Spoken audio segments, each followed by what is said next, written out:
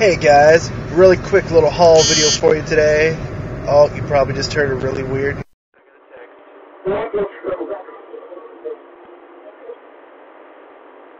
Ignore. That was my card. Oh my god, another one. Damn it. Anyway.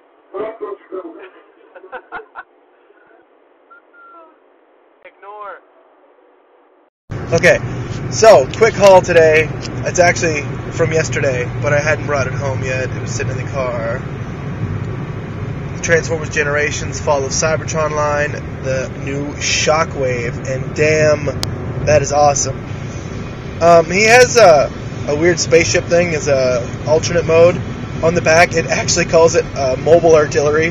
That is such like a spaceship. But anyway, his robot mode is awesome. Great homage to the original G1 style in a way.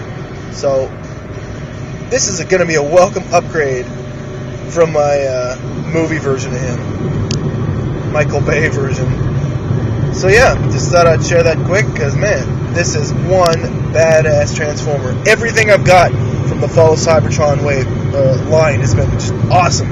Optimus and Jazz. I can't wait to get the Combaticons because these figures are dope. Have a good weekend, everybody.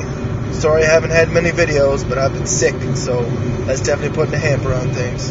And sorry I got those two texts while I was doing this because that might be really loud on the audio. I don't know. Anyway, have a good one, guys.